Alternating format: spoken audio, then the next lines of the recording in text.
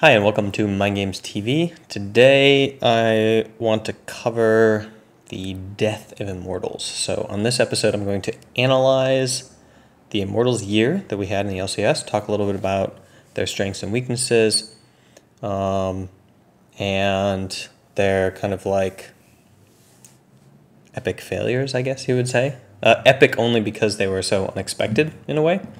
Um, and then I, I might talk a little bit about like culprits, villains, innocent bystanders, and not so innocent bystanders that have to do with them with the whole uh, the whole year. And so I wanna I wanna make sure that you guys know that I'm analyzing this, meaning that I'm trying to use uh, like the data that I see to kind of project and and guess at what's going on. So I'm not using any sort of like, you know, interior interviews or inside knowledge. And when I am, uh, then I'll certainly like share that kind of information so that you guys have the same analysis basis to stand on that I do. Um, and I'm not trying to like demonize anybody or anything like that. So it's purely from the outside. And I'm also not going to use any sort of like internal scrim information that we have. Like Scrimming against Immortals, mostly I'm looking at their games versus all of the opponents in the LCS and like um, and their performance in the in the playoffs. So let me start off with what happened. First of all, Immortals came into the year, built a, a strong staff and a strong roster, competed in the first split, set an insane record, 17 1, I think, or something like that, uh, in best of ones. Went into this, went into the playoffs with a bye, uh, lost the semifinals match 3-0, I think, to us, to TSM, um, and then won the third and fourth place match. And then they went in the next split and had a repeat on their record almost. Uh, they had two losses, and then but they were in best of threes, so very like even more emphatic kind of exclamation point on their skill level. And then same thing, had a bye going into playoffs, and went into the semifinals and got two threed by C9, and then won the third and fourth place match. And then eventually they lost the gauntlet to C9 again and ended up done with the season kind of early. Earlier than everybody expected, I would say. Okay, so let me start by talking about the first split, their strengths and weaknesses as a side. I think that coming into the first split, they displayed really clear strengths in terms of like proactive playmaking and side lane management. So by that I mean that like you would look at their gold differential and their experience differential throughout the game, and you'd see that uh, even though they would have like a play that would like either work out equally or not work out, so they would they would either like trade objectives or they would trade kills. They would always end up ahead in terms of resources, whether it was experience or gold, because they were really good at um, creating tempo in a side lane or on a wave, even if it was mid, and then making a proactive play on their terms using that. And when they were making reactive plays, they were very good at, after the play was over, scraping resources from the map or, um, or like kind of like triaging the play, I would say, uh, and like running elsewhere and making like a counter play somewhere else in order to get in order to get uh, farmer experience. And the reason that so there it's always a calculated risk when a team uh, kind of like maximizes farm in a side lane, whether or not they have tempo or whether or not they're ahead. And one of the things that can mitigate that is if your team plays like properly around the kind of pressure and either has a seesaw on the map, like when one side is uh, is like being offensive, the other side is being safe. And Reignover in particular, I think, was really good at kind of being in the right place at the right time to um, proactively uh, defend their vulnerable side. So it was like less risky than it should have been because of that. And then other otherwise also teams didn't punish it as much as they should have. And so that resulted in games where you would see them like scrape large gold leads, even though they would be behind in objectives or behind in kills, uh, simply because they were better at farming. And their weaknesses in that split were more or less kind of like maybe compositional and macro related. So they had pretty linear compositions. They chose sometimes very difficult win conditions, win conditions that were much harder to pilot than like easier win conditions in their compositions. and um, for example, like straight up split push instead of like split push with team fighting. Or sometimes I would see them run a composition that like just just didn't team fight very well um, because didn't have a lot of CC things like that, um, and so they would rely a lot on skirmishing or like pure side laning to kind of like win games, and it worked really well. But it, I mean, obviously that's a weakness. You know, if if a team can like hold that off, then they get to take advantage of their superior composition in a in a straight up fight. Um, what other weaknesses did I see in the first split? Compositional. Oh, kind of like sometimes not coming to the play too often. So sometimes like it would have been a more benefit to stay out of the play and just like continue pushing advantage elsewhere. And half the time they were good at that, and the other half the time they committed to the play, which I don't really know if that's a weakness or just like a learning curve. Um, but yeah, okay. So let's jump up to split number two. I want to go over the strengths and weaknesses there as well before I jump into the, the failures. So split number two, they do the same thing, but they have best of three formats. And one thing that I saw uh, as one of their strengths that was mitigated a lot from the first split was their drafts got a lot kind of like better. And I think it's because you're tested a lot more in the best of three format. Um, and so their compositions became a lot more like kind of, well, okay, the meta suited them a little bit more too, but their compositions became a lot more straightforward and they adapted really well to the meta. I think that they're, they went through two really nice meta shifts in the first split and then in the second and then they failed one. And then in the second split, um, they went through one really nice meta shift where they jumped from like uh, range to melee supports, um, and yeah, and they, and they shifted really well on those. Um, and their their drafts, like I can remember multiple times where they straight up outdrafted their opponents. Um, so their composition design was pretty good and their so their strengths remain the same, and their weaknesses I would say were. Uh, again, like their cross map plays. So, like, there were a lot of times where I would see them commit to a play on defensive, defensively, when I think they should have been like, like ceding ground or ceding the the resource and taking more on the other side of the map or taking an exchange or a trade because the other team just had tempo. But a lot of times they would they would take the the defense and the play, and then they would just outplay them. But that's you can kind of see that as weakness because like that works against teams where you can out execute, but then it starts failing against teams where you can't actually out execute on the defense and they have a numbers advantage or a tactical or a strategic or a tempo advantage on the play. So yeah, I kind of saw that as a weakness uh, when I was watching them on stage. But again, like it wasn't punished very much. Okay, before I jump into the analyzing their failures, I want to talk about their capability of being a worlds team. So I think it is like absolutely true that they have capability of like being a worlds team. I mean, if you just see some of the teams that are at worlds, like they're of the same caliber. Uh, I think that all of the teams that NA sent to worlds are capable of being a worlds team, and so we just have enough teams in NA that like some of them can be worlds teams and not go to worlds, and that's kind of a nice problem to have, I would say. Uh, but you know, it's sad because um, I want to see all of the teams that I think could put up a good showing kind of on stage, and they're not going to get a chance to, which is disappointing. However, as of course a diehard CLG fan, which I can say now because we are all on the same side and we're not in the same group, um, and of course I'm, a TSM fan, a CLG fan, and a C9 fan, and an Immortals fan. Um, I'm, I'm really happy to see all of them kind of like playing on stage as well. Okay, so now let's jump into the failures. Failure number one, the split number one semifinal. So they go into this match against TSM, and they have a bad read in the meta. And I think this is my analysis, this is my guess as to what's running through their heads. They're playing um, like a really punishing range top against a a tank that cannot like lane very well against range champions and they are snowballing that lead. I'm imagining in the scrims what they did was they stomped lane and they snowballed that into uh, map advantage elsewhere. And this is kind of like uh, false positive because what happens is that this is this is kind of like the Korean meta in a nutshell, in my opinion.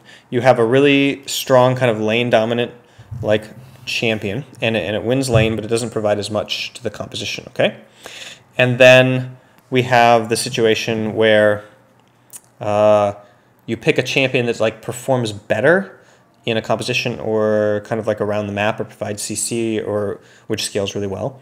Um, or, or scales better and has a weaker early game. And what happens generally, every single meta shift in League of Legends, is that first you, you pick these lane dominant champions, and then teams slowly get better at like defending against them, either playing safe or like choreographing defense around the map or obtaining vision in order to like not cede resources and still not die while these champions are nullified. And then you get to like a game that is very like safe, but then you have like better champions once the team fights start or the objective play starts. And this is generally like a better way to win the game because it's higher probability, lower risk, higher reward plays, and uh, it's it's like when you have a composition that can win from various different like levels of the game, like let's say you don't get ahead in a snowballing comp, then all of a sudden you lose, right?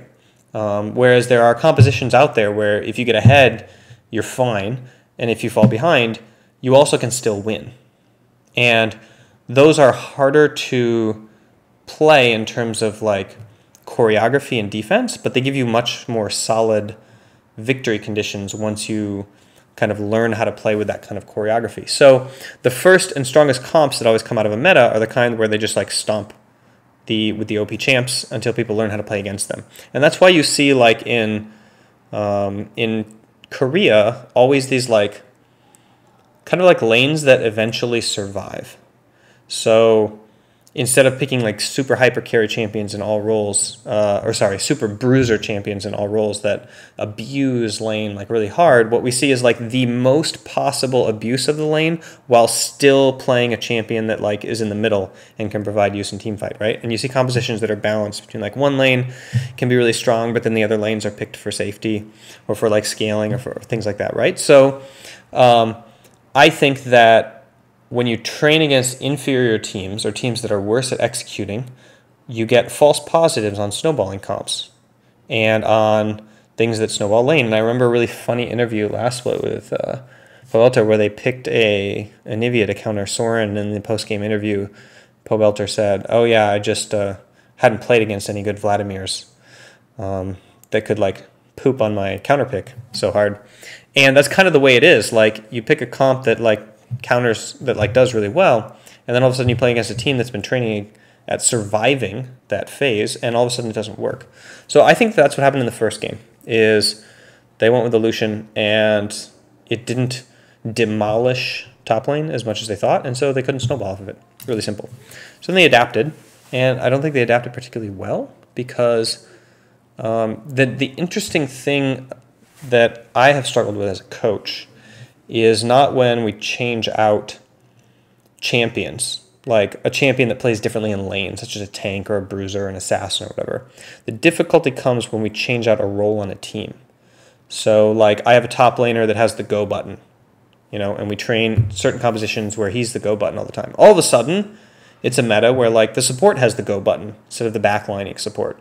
And then we have to relearn that like trigger. Like everybody has to go when that person goes, and that person has to see the same opportunities for engage as the other person used to. And that means that they have to like kind of step up to the plate and go through this learning curve and kind of this painful process of whatever. And then um, and then let's say all of a sudden it shifts to the mid lane, like all of a sudden they have the the Vladimir go button or something, and uh, it, it is the one flanking because you have this insanely tanky champion that for some reason is like in the middle of the mid lane uh, meta, and all of a sudden that person has the go button, and the team has to play around that uh, opportunity. So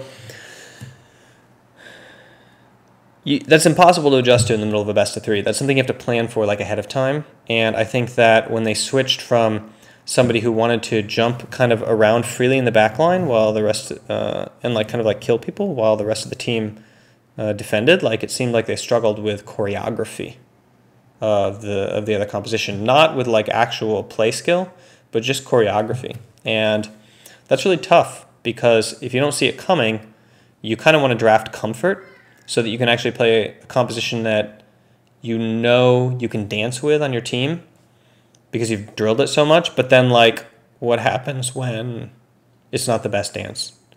And you just have to hope that you can pull it off, right? So that's one of the problems of prep is do you prep multiple different styles and try to teach that or do you all in on like the one skill that's like most important and hope that like it's it becomes the dominant you know way of playing the game when you're when you're on stage and stays that way? It's a big question. So that was their first failure uh, was that best of three or best of five.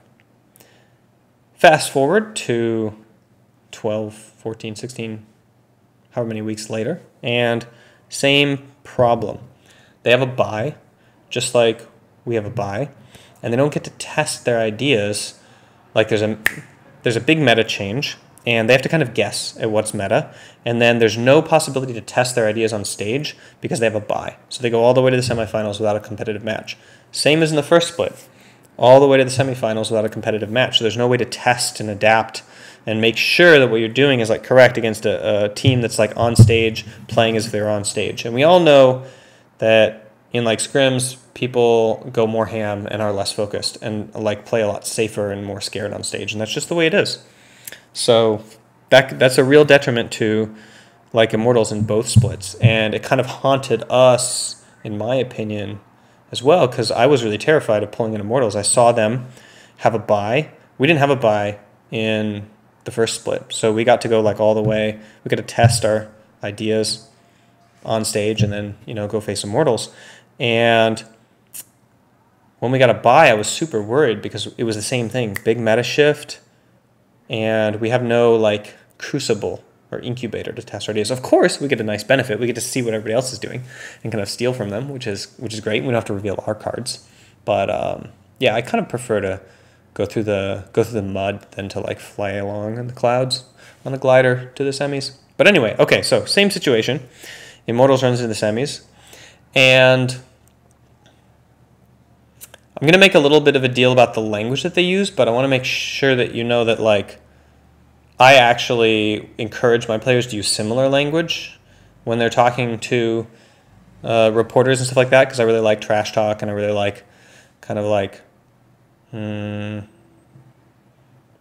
like that mentality. I just I just really like it. So Reignover does an interview with ESPN, which I read, and and he's already, or maybe it was actually Red Bull. I don't remember which one. And he's like, they're about to go into the semifinals. He's already being asked questions about the finals against TSM, and like that's the projected idea. And you know they're talking about it, and I was like, oh, that's so disrespectful to C9. But like I would have my players do the same thing, you know, like confidence and kind of a braggadocio, which I like. Now internally, internally, my philosophy is clouds and dirt. Sorry, clouds and dirt. So you have an ambition, right?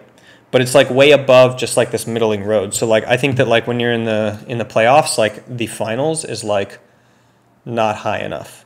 Like you have an ambition above and beyond that. You know, like all time greatest run in the history of League of Legends for six years and inducted into the Hall of Fame, right? The clouds, right? Winning the world championship in the next five years and the next year, whatever. And then you have the dirt, which is your next game. And the problem that a lot of people run into in execution is that they're standing there looking in the, at the horizon. They're like right there in the middle, and they're looking at like something that's far away that they can't touch, but they can't, but they don't know how to get there, and um, and they feel like they should be able to, and it's just like it's in my opinion a wasted focus. It detracts from your ability to concentrate on what you need to do, and it also detracts from your motivation of aiming high. So you kind of don't have the, the right amount of ambition, in my opinion. So internally, I'm sure, I'm hoping, I'm positive they were doing the same thing because if you look at their performance throughout two splits, it was really clear that they were focused on like strong ambition and that they had uh, that they were working week to week, you know, to make sure that that was that was the case. Um, so I just want to point out that like although that language is there and I see it from the outside, they don't produce a reality TV show, so I can't see what they were talking about internally and make any guesses about that. Um, but just so you know, for your own personal use and coaching and everything, like focus on the clouds, focus on the dirt. What is the next thing you have to do? What is the next step you have to take right in front of you? Don't lift your eyes up to the horizon. It's too far up. What do you got to do right there? And where are you going eventually? Um, and, and like the middle part is going to change so much that I promise you you'll have like no idea how in the world you ended up on the track that you did. don't try to plot your track to the horizon. Just like focus on your ambition and the, and the next step in front of you. Get it done. Okay, so anyway, they go into the semifinal versus Cloud9. It ends up being a, like a really bloody match, and I want to share a little trajectory that I saw happening throughout the split. We had two matches against C9. We had two matches against Immortals throughout the split, and if you go back and look at those games, one thing you'll notice is that Immortals pretty much had a gold lead um, in all three of their games in the first half of the split, like pretty early on. Sometimes a 700, sometimes up to 2K gold lead on us. Even if we were like kind of even in kills, they were they were uh, ahead in objectives and or ahead in uh, just farm, and um, that came a lot from the jungle position at that point. Reyna was a beast, and, uh, and a little bit from the lane swap as well. Now, if you fast forward to the second match, it's a lot closer, but similar situation. We're more or less even in gold, right?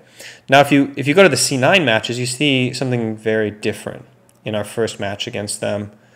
Um, you'll see that Meteos uh, is really good at counter map play. So we make a play, and he's on the other side of the map, like making a play to counter it, um, or to like, you know, do something reactive, proactive but reactive. Kind of a good reaction because instead of like dying on on like your half of the map uh, to the play or like not getting anything done or sitting there staring at them while you take your tower, you go do something, which is great. But it's I think there's one point where kind of highlights what I'm talking about. Eight kills to eight kills, equal turrets, and they're down like 1.8k gold.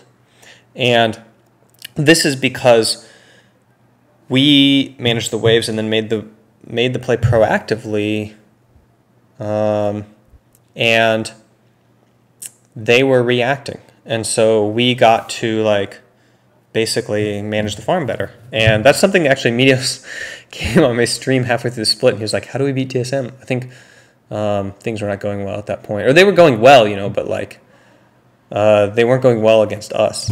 And uh, I was like, dude, you got to be proactive. Because at that point, he was a very reactive jungler in which he was, he was making really good counter plays, but they were always like on our timer. And if you look at a lot of C9's games, they would see what their their kind of like opponents were doing and they would react to it. And they would react really well a lot of the time, but it was still on their opponent's timer. So if you give that timer to a really good team, a really good team is going to take that timer and run with it all the way to the Nexus.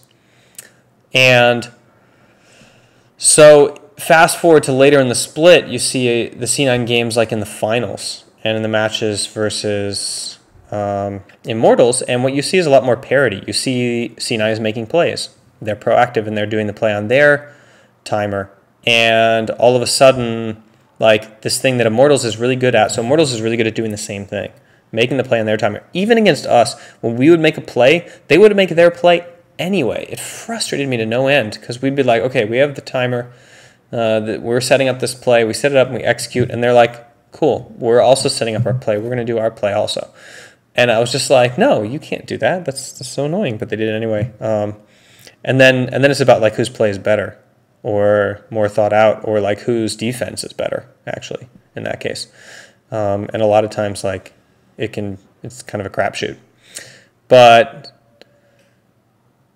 yeah, so C9 started doing that a lot more. And so all of a sudden, this team that I think used to be a lot lower than Immortals in terms of like uh, proactivity, like caught up. And I think that Reapered was doing a really good job with like designing what objectives to fight for, what not to fight for, and compositions. I mean, if you just watch C9 throughout the split, you see more and more and more they're designing plays around specific like moments in the game and not just randomly fighting. And you see more and more that they're like kind of like drafting like really strong compositions all the time.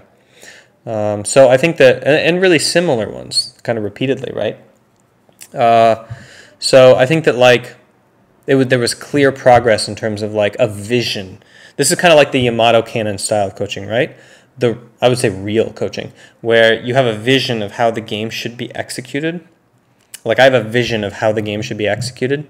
Um, I believe fundamentally that uh, League of Legends is kind of like baseball, and that there are like forced errors and unforced errors and you need a you have a proactive nature of set plays that forces errors when you're in a position to capitalize on them, and that's like just like game theory wise, you know, superior to uh, like defensive play styles like zone defense because you can always put together a play that will crack a zone defense, even if even, no matter how good the defense is. Um, even if you go even on the defense, they will have control of the play, which means that they can like manipulate the resources of the play so that like uh, they get more out of the kind of like post play phase than you do. So yeah, so that's that's really important to me. And um, yeah, so back to their failure, they go against C9, and C9 bites back because they've been they haven't been scrimming them I think for a week, right? Because it's like you don't want to scrim your opponent the week leading up to the match. Maybe even it was longer than that.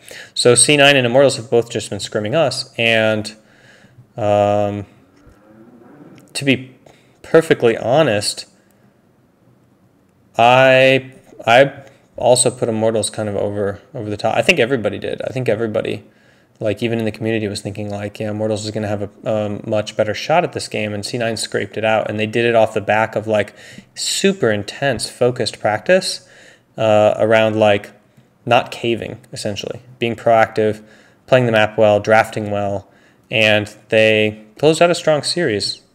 So I'm not really sure what the failure here was on Immortals' part. Maybe it was just the fact that they misread the meta because if you see in their games, they started off, I think, three games, they drafted very snowball style compositions where they had kind of low levels of CC or like not as much CC, or they maybe they drafted the uh, mid laner that like wasn't as uh, good in like late later game team fights if you were like behind or even.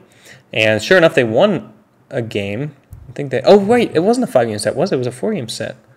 Yeah. No, no, no. It was a five game set in the semis. It was the gauntlet that that changed. Um, gosh, I should have reviewed the picks and bans before I jumped into this. But anyway, uh, yeah, they essentially, I think, like had to abandon their kind of like snowball draft, and then they weren't as choreographed in you know in the last game they ended up actually didn't they like kind of choking draft stage and uh, ended up with like Lissandra top or something. I think they knew Lissandra was strong. They didn't how to fit it in against their against the mid champion maybe, um, or like Huni's just a really good Lissandra player, so maybe that made sense. But yeah, it didn't work out, even though CC scales so well. Uh, yeah, so that was their second failure. And I mean, it just had to come out of prep, right? you have to prepare your first string composition, and it has to be it has to obey game like basic game theory.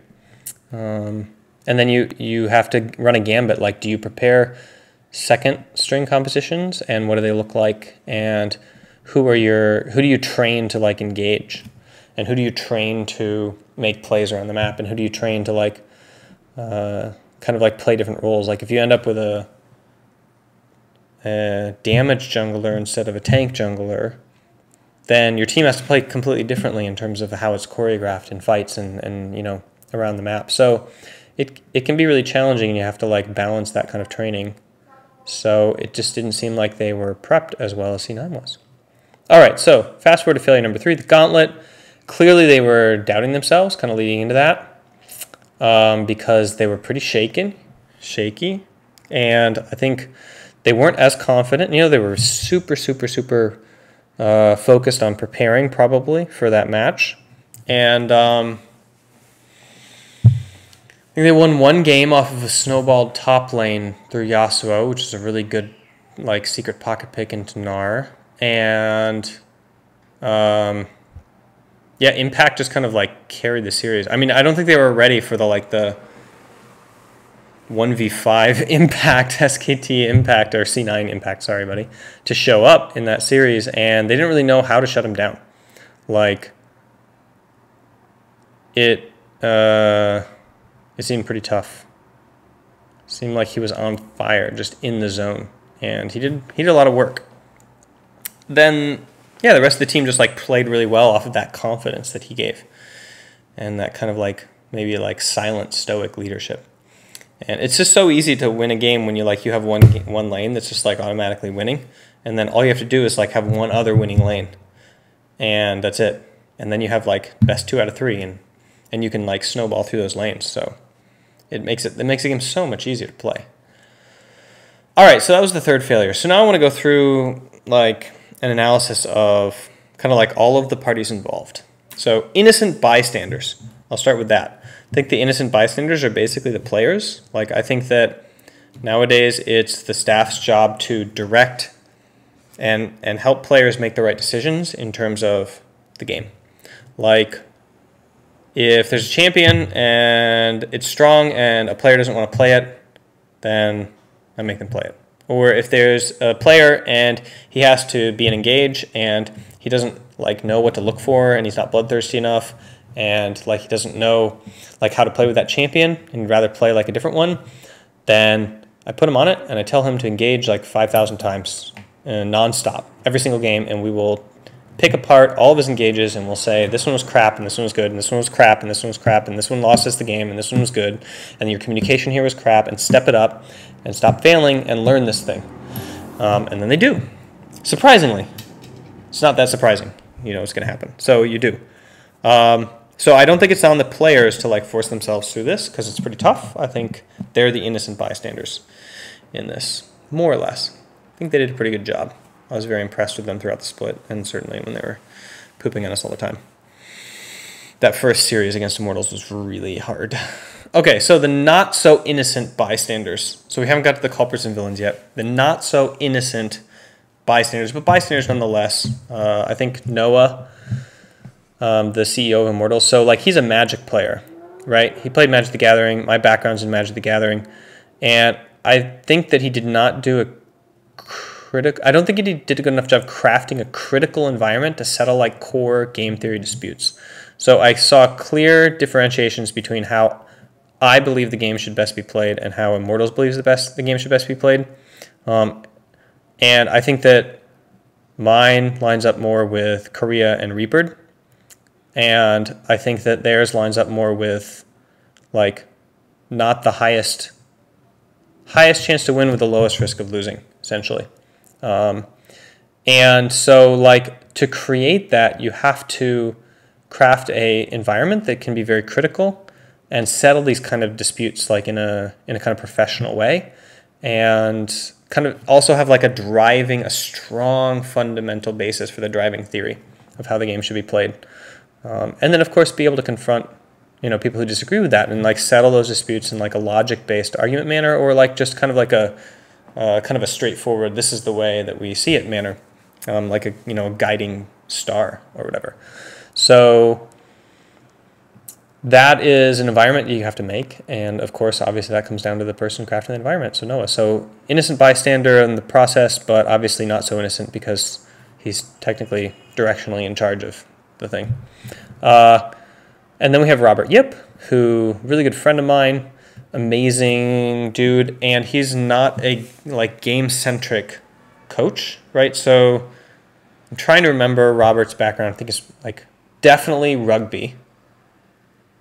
Um, pretty sure he knows a lot about StarCraft 2, although I'm not confident on that. Um, I wonder if he's ever played any first person shooters. But there's been a market shift, in my opinion, of like how sports psychology is kind of like used in sport. Um, I come from the fundamental belief, starting when I was a coach, that the best place in the world for sports psychological knowledge is within the coach himself. And that's why I was a coach. And I went and became a sports psychology trainer to kind of like incorporate those ideas into my coaching to, to like become a better coach, right? But always as a coach.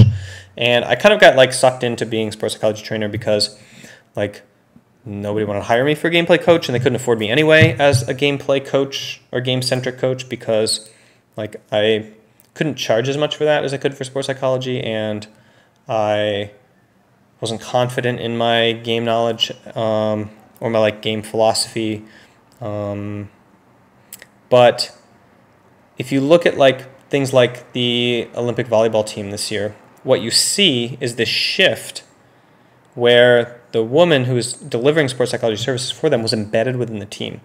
and she was there on the court and she was calling players over in between points and talking about like what their body language looked like to them. And uh, it made me think of when I read that article and I saw how different sports psychologists are being implemented in the Olympics this year. And I, and I compared that and contrasted it with like the NBA style where, yeah, there was one NBA guy who was like on the court, George Mumford, with like the Bulls and the Lakers, but other people were in offices and it was like the player would like go to the sports psychology office and like talk to the person and then go back to the court. And I think that that's fundamentally like flawed. It's just like having a therapist or whatever. Uh, it doesn't have anything to do with like how sport is enacted in life. And I remember in 2014 when I was like, I've been studying the game since like 2013 essentially, and in kind of like a very in depth manner. And one of the first things I did was I would look at players' avatars and I would try to read their body language and I'd try to see like, are they in control of themselves when they're making this play? Is this an automatic play? Is it choking? So is it like they could do it, but they, they don't right here because of the pressure? Or is it that they're not good enough to do it? Um, are they hesitating or are they or do they not know what to do? Do they have something that they're like afraid of and they're acting on fear? Um, or is it that they're like confused, right? So all of these things can come through in body language. And this woman on the volleyball court like studied her players and knew the game and was able to like call them over and say like, like look, you're not communicating with your team because you uh, you double faulted on that serve or you, you failed that serve and like that affected your next point because like this dive that you made was like half-hearted. You were half thinking am i going to miss this too? And you weren't just like trusting yourself and trusting your team to like be okay with your mistake and you weren't all inning on the on the flop you know on the jump. And so because your mind's in two places thinking about the judgment of your team and the execution of the, of the play you failed it okay? That was not it wasn't that you couldn't do it it was that you were handicapping yourself. So i started being able to see that in the play of people on the rift and i could see when um, I guess it was in Copenhagen Wolves. I could see when Young Buck, hi Young Buck, in top lane, you know, was getting dove, and I could see when he was like under the pressure of the outplay and like choked. Oh shoot! Or when he was like under the pressure of the outplay and he performed amazingly, but just couldn't outplay it. Right? That he just wasn't good enough, or there were just numbers advantage and didn't work. Right? So because there's there's subtle differences in body language when that happens. Like things just come more fluidly and automatic and aggressively versus like kind of hesitatingly in these little moments of hesitation and the kind of after effect uh, cocktail of expression um, that happens, you know, on the on the mouse and on the keyboard afterwards. You can kind of tell. So fast forward, I think that like a coach should be able to do that right? But if the coach can't do it, if the coach is like super philosophy oriented, whatever, then sports psychologists can kind of like start amplifying themselves in that direction, become a kind of person who can see that. And I'm not really sure where Robert is as far as that because I haven't really talked to him in the last ever since he got the job, which was amazing. I was so excited for him when he got it, but I haven't really talked to him much about like League of Legends that much since then. Or like I know that he know that he does an amazing job like handling their performance environment and helping them escalate themselves as far as performers and like physical maintenance and diet and nutrition and dotting all the I's and crossing all the T's.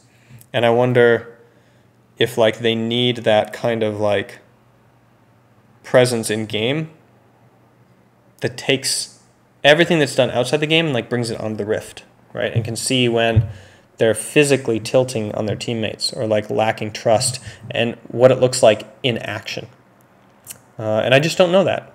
So I think Robert is like a is like an innocent bystander, right? But of course he's on the coaching staff, so that makes him a not so innocent bystander because even though it's not his purview, uh, it could be in his skill set.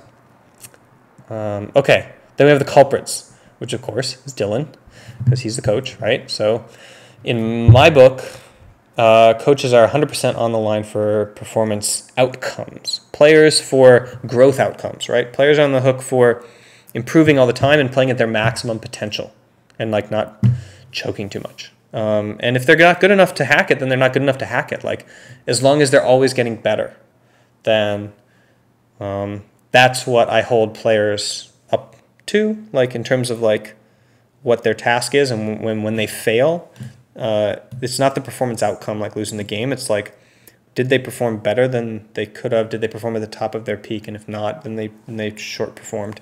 And um, I'm okay with losing if players are like always like performing at their peak or close to their peak or like getting better all the time, right? So then performance outcomes on the coach. And like that's something that I put on myself. So I told them that when I was hired, you know, I said like hold me to task for performance, reward me if we win, punish me if we lose. Don't pay me if we lose, pay me if we win. Um, and I think in traditional sport, this is even more the case because you can build the roster. Like as a coach, you get to put the roster together. So not only do you scout out the talent and say like this person yes, this person no, but also you get to develop that talent and then you also get to engineer the path of the team. So it's like even more the case in traditional sports. So it's not yet the case in esport completely because you don't typically see coaches like throwing their rosters together.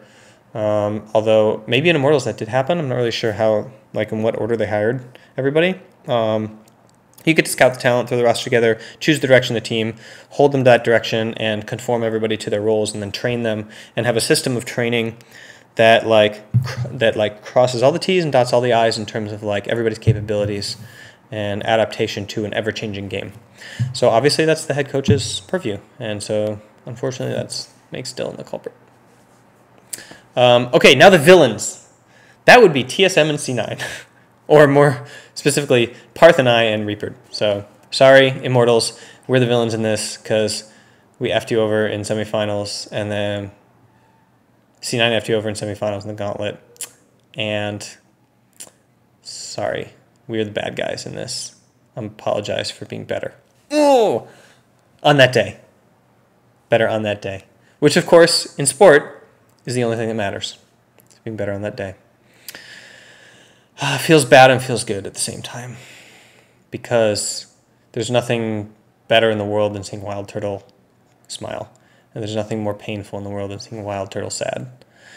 Because, uh, you know, they're cute little wild turtles and uh, they're just so adorable.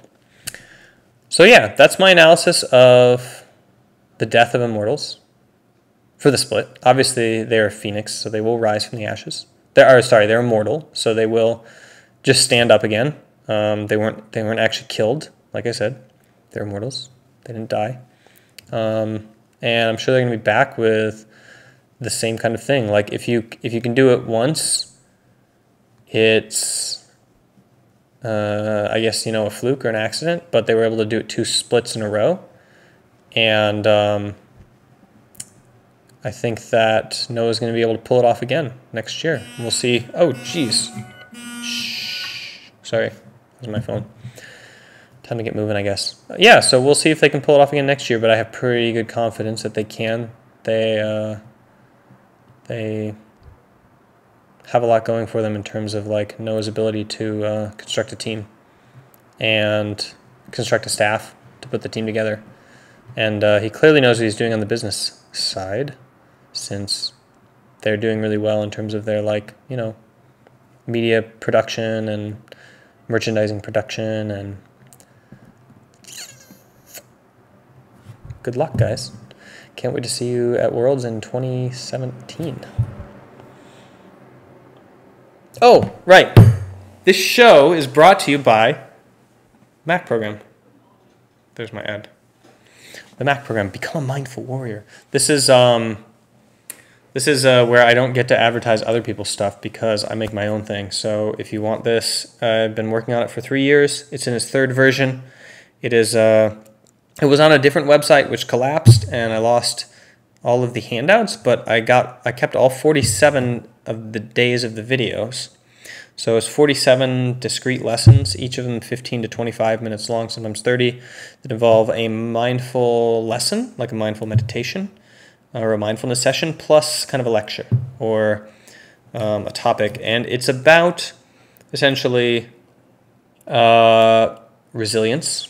So, resilience in your pursuit of whatever it is. So, I gear it obviously towards uh, elite performance in esport, but you can use it for, I use it for school, for work, for life, for relationships, uh, for being just a better person in general. This is what it's all about for me, is being able to like endure live by my values instead of my emotions. So instead of being driven by emotions, to be driven by a set of values that kind of like drive your behavior in, a direction that you can take small steps every day with resistance to whatever it is that's trying to stop you internally, whether it's fear or procrastination or boredom or frustration or like uh, like non-surety about like your situation and where you're headed and instead you can just like move forward living in the moment so that's what that whole program is about and it's really expensive right now because i lost all the worksheets so i think there's like 12 worksheets that i developed to go along with it and they kind of went down with the website and i'm slowly adding them back in but in the meanwhile you can lock it in at this price right now which I think is $25, and you have permanent access because it's that kind of thing. It's like a login, right? So right now you just have the core of it, which is like all 47 different like daily lessons, which you can do like five of them a week, three of them a week, seven of them a week, whatever you're able to do. Don't do like 14 of them a week. It's supposed to be once a day max. Um, and uh, and that is where the actual neurological change will happen. So it's designed after a program that has been that was innovated in 2004 and like tested a lot since then. And this is my third version of like crafting it in video form. Um, but the fundamental research in it shows like pretty strong structural changes in your neurons after uh, essentially 12 weeks, um, or or sooner if you finish it sooner than that. But essentially like eight cumulative hours of mindfulness training results in the kind of structural changes that show up on things like MRI scans. And that's the basis of this program. So that's where like the, the actual physical change takes place. And the rest of it is, um, is kind of like more personal about like setting your own values and self-awareness and understanding what it is you want. But in the meanwhile, you can get kind of like the foundational behavior things out of the way in how you're able to control and like be okay with not being able to control also your life and your emotions. So yeah, check that out. Supports me, supports what I do, supports my program, uh, supports this broadcast, supports my family, and uh, oh, not yet though. Just supporting my business at the moment because it's not really like a successful enough business to support a family yet, but maybe at some point. Uh, also, my reading list, which I'm like editing like literally right now. Don't have it ready yet, but uh, it's if you if you go to the link, I think maybe there's even not a link yet. I'll try to get it up by the end of the day. Then you can subscribe, and then you'll get the full reading list, like one by one, with my reviews on each book and article. And then I'll just like keep updating that, so you might get a new email like every week or so with a new thing that I find interesting to read, um, like synopsis. I'll give you send you synopsis and a review, and you can check it out if you want. And finally, the five minute journal, which is something that I use every single day with. Um, with the team and with pretty much every team that I've ever worked with. The MAC program also, by the way, I used with CLG and TSM, and the five minute journal used with both of them, only in my own form. Like I just have them kind of do it, uh, you know, on blank paper or whatever like that, because I design the activities. But the five minute journal is a nice, concise, like put together version of that. Uh, that that journaling that I have them do every day, the gratefulness conditioning. So you can check those out in the links down below, and I will see you guys next time.